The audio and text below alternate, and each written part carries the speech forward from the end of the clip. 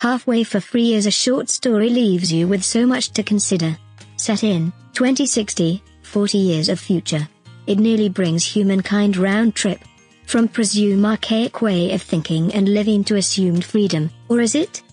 Is life truly better without kids, without the agony, duty, and expanded carbon impression that are consequences of bringing a new life into the world?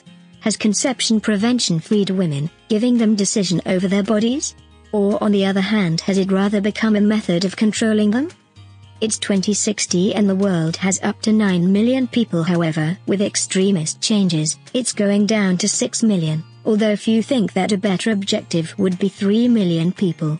Despite the fact that it's not illegal to have a kid, doing so is made practically unimaginable because of housing, work, medical care and social acknowledgement being eliminated from the people who may do so.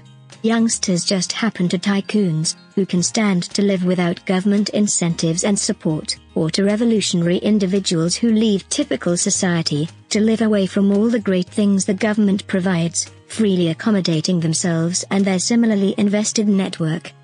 There are a lot of things in this little story and I'd love for it to turn into a full-length novel, so we could follow Miriam and her companion, as they explore an alternative that the vast majority could never consider. Poor Miriam gets an earful from her own Yar gadget, when she looks for data about pregnancy and childbirth. At the point when it's totally disgorged the manner in which the Yar puts it, I'm shocked anybody would willfully get pregnant.